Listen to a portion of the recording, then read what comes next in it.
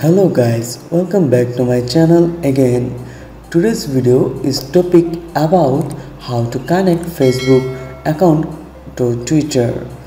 Many of us want to know about that and maximum of people don't know that.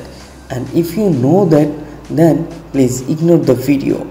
And if you don't know then don't escape. Watch the video till the end. So let's get started with the video first go to facebook apps then press on profile option then click on see your about info and then you need to go on contact info option. Then you will see our social link option then click on it. You click on that then you will see that option then click on it.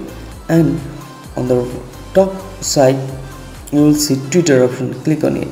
And then search and write your account name. My account name is Shakwat that's why I type Shakwat and it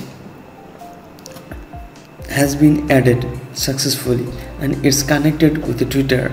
Then if anyone click on your Twitter then if anyone click on Twitter name then it will be go on your Twitter account. So I hope you guys get understand how to do it.